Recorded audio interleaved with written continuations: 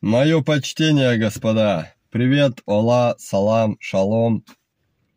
Вы на канале Дигивлог. Здесь все о такси. Чем мы дышим, чем питаемся, какой у нас геморрой и сколько мы зарабатываем. Угу. Зарабатываем.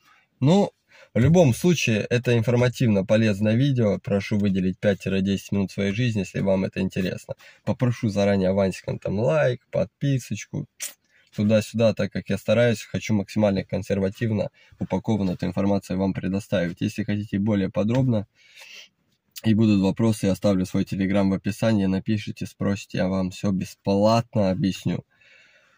Фух, сейчас, наверное, многих начнет бомбить. Сразу побегут писать гневные комментарии. Ты пиздюк, что ты нам будешь рассказывать. Я просто смотрел, какая у меня аудитория. Меня смотрят дядьки 35 лет плюс и выше. Даже пенсионеры меня смотрят, за что вам огромное спасибо, мужики. Мне так неловко даже перед вами корячиться, тут распинаться. Но как бы возраст это цифры, и мы, юные пиздюки, тоже можем владеть какой-то полезной информацией даже для вас. Вот. Поэтому приступим к самому главному. Как же получить эту заветную бумажку, желтую лицензию для таксомоторной деятельности. Проще говоря, лицензию такси, где сказано все о вашем ЕП, о вашем авто и то, что вы можете этим заниматься. Все сниму сплошным кадром, потому что видео должно пройти легко, просто и на одном дыхании. Много воды, много воды, все, поехали.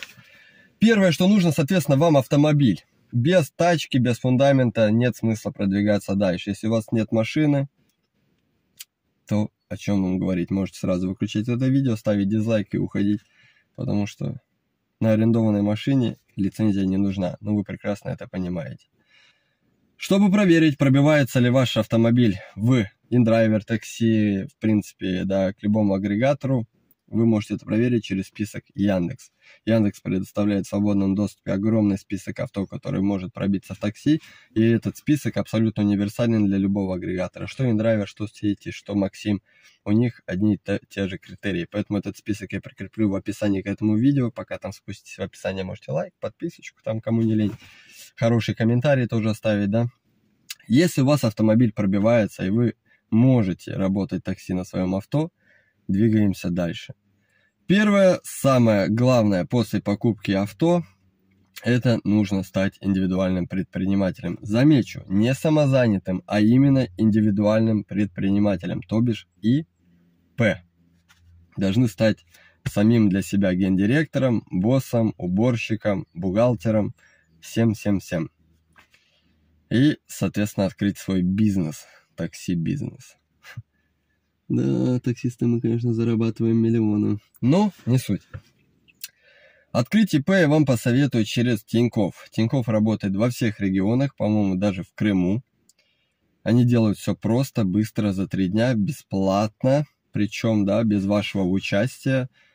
Я сам сделал все через Тиньков, это не реклама, просто советую, дружеский такой, сынческий, отцовский совет для вас. Тиньков. Можете через другие банки, можете самостоятельно. Я просто не углублялся в ЕП.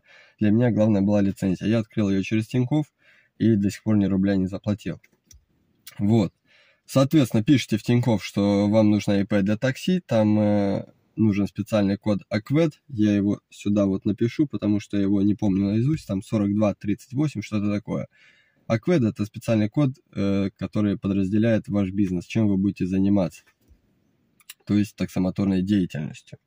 После того, как вы открыли ИП, дождались, вам прислали все данные индивидуального предпринимателя, что у вас все открыто, готово, выдвигаемся на сайт госуслуг. А если у вас нет госуслуг, идем в ближайший МФЦ, ну или мои документы, как сейчас они нынче называются. Там мы приходим и говорим, что хотим получить лицензию такси, подать заявление, и вам помогут с этим. Вот, но предупреждаю, предупреждаю, что перед тем, как вы будете подавать лицензию такси, у вас должно быть открыто ЕП, это главное, и быть разукрашен уже готовый автомобиль под такси, так как фотографии авто надо будет подгрузить во время заявки на такси. Ну, у нас в Москве по ГОСТу автомобиль должен быть цельно-желтый. Вы по предыдущим видео, наверное, у меня уже видели. Просто весь желтый автомобиль и маленькие такие квадратики, шашечки по окружности авто. Ну, а в других регионах свои ГОСТы, как правило, просто э, серо-желто-белый автомобиль, да, вот серые пороги, желтые полоски там и вдоль машины, да, и в целом автомобиль белого цвета. Вот. В СТС обязательно должно быть прописано цвет авто, что он либо желтый, либо желто-бело-серый. Обязательно в СТС должна быть такая присутствовать надпись. Она у меня тоже присутствует. Сейчас я вам покажу. Или не покажу. Нет, покажу все-таки, потому что СТС у меня есть. Смотрите. Hyundai Creta желтый цвет у меня стоит в СТС. Больше никаких упоминалок нет. Страховка не столь важна, она у меня не сделана. У меня обычная ОСАГО, не под такси, хотя многие говорят, что за это грозит огромный штраф, и нужно насчет этого запариться, но я езжу уже так полгода, и как бы меня никто не трогает.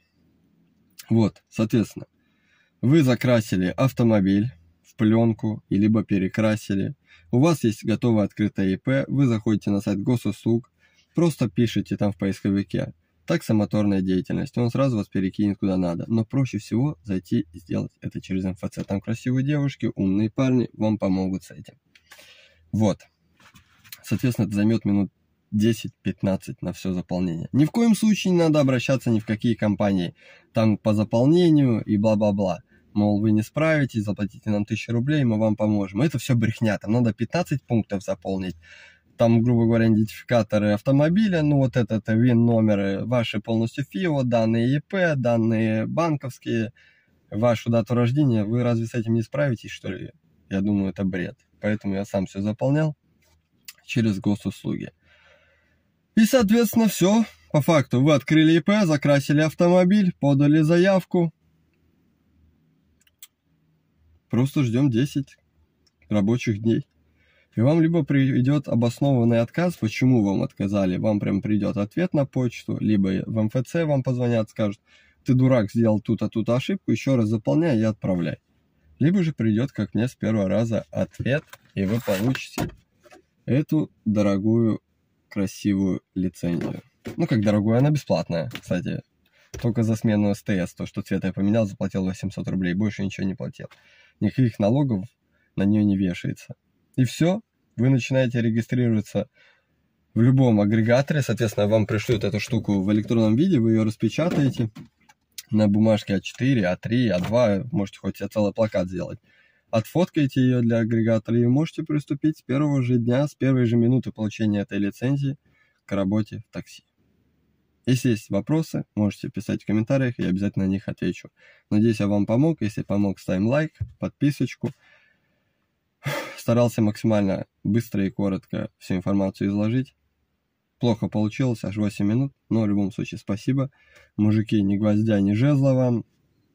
Надеюсь, у вас все получится. Работаем.